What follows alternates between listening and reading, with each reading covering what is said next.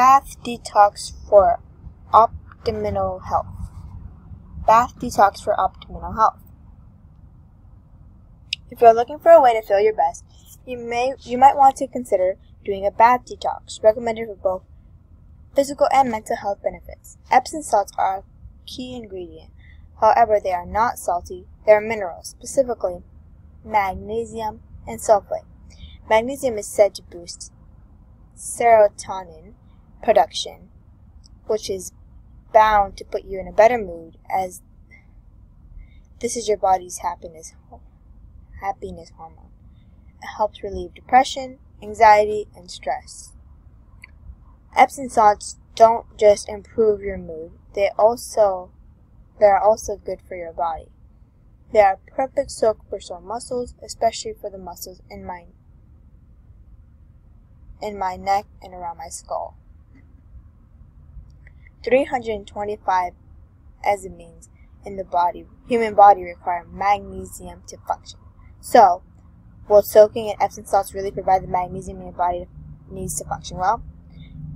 ConsumerLab has provided the independent testing of nutritional product for 20 years.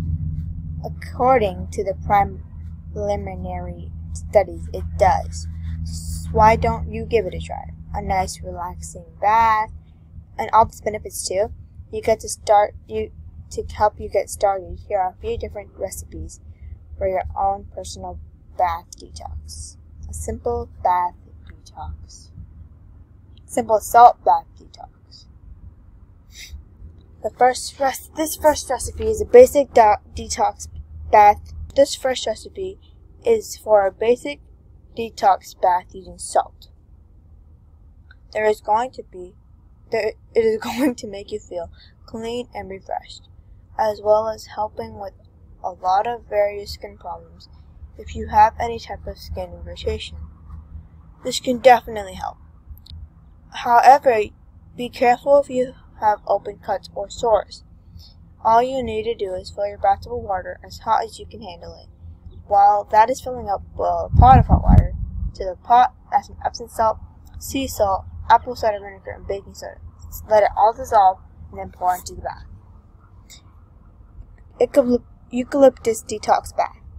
A detox bath that uses eucalyptus and essential oil is great when you have skin that is overly dry or itchy.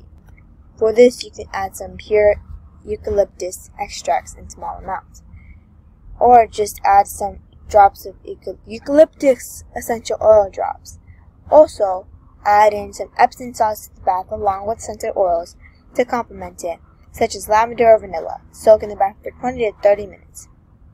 Bentonite Clay Detox Bath. If you have not heard about bentonite clay before, now is the time to become familiar with it. Bentonite clay is a type of organic clay that can be used to help with your skin and overall health.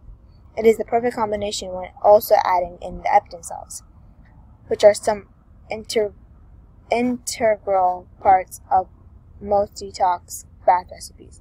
For this type of bath, try adding some Epsom salts in, same, in the same amount of bentonite clay a, to a hot bath.